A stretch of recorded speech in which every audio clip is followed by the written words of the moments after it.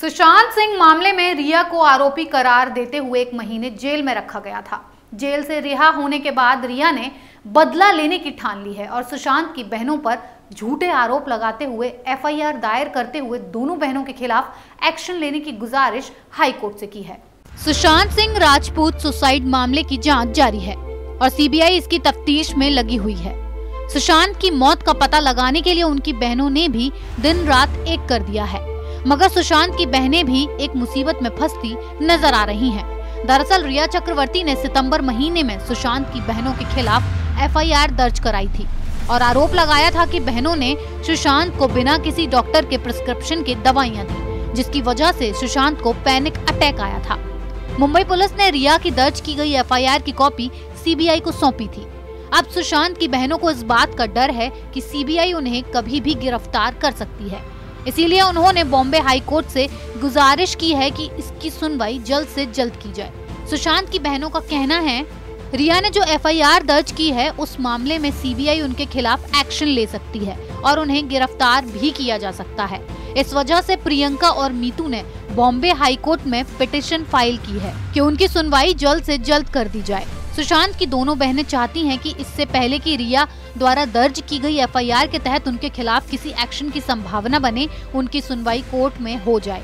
यही बात दोनों ने अपने वकील के माध्यम से जस्टिस एस एस शिंदे और जस्टिस एम एस कार्निक के सामने रखी है। इस मामले में रिया चक्रवर्ती ने भी पलटवार करते हुए बॉम्बे हाईकोर्ट से गुजारिश की है कि सुशांत की बहनों ने जो एफआईआर रद्द करने की याचिका कोर्ट में दाखिल की है, उसे खारिज कर दिया जाए।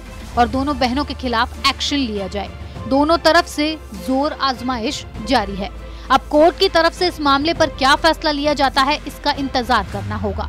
सुशांत सिंह मामले में करीब एक महीना जेल में रहने के बाद 7 अक्टूबर को रिया चक्रवर्ती को बॉम्बे हाईकोर्ट से जमानत मिल गई थी और अब वो इसका बदला लेने के लिए उनकी बहनों पर झूठे आरोप लगाने में पीछे नहीं हट रही हैं। इस मामले पर सुनवाई की अगली तारीख 4 नवंबर को तय की गई है, क्योंकि सीबीआई और मुंबई पुलिस ने अपना अपना हलफनामा दाखिल करने के लिए समय मांगा है। और सीबीआई राजपूत के पिता के के सिंह की उस शिकायत की भी जाँच कर रही है, जिसमें उन्होंने रिया पर उनके बेटे को आत्महत्या के लिए मजबूर करने का आरोप लगाया है।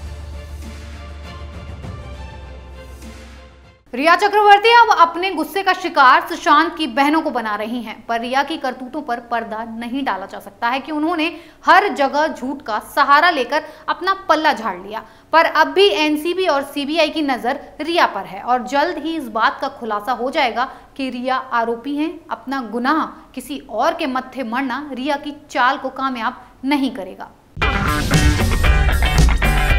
अगर आपको हमारा वीडियो पसंद आया हो तो इसे लाइक करें हमारे चैनल को सब्सक्राइब करें और हाँ बेल आइकन दबाना ना भूलें, ताकि आप तक हमारे वीडियो की नोटिफिकेशन पहुँचती रहे। आप अपना सुझाव हमें कमेंट बॉक्स में दे सकते हैं। हमारे साथ जुड़ने के लिए शुक्रिया।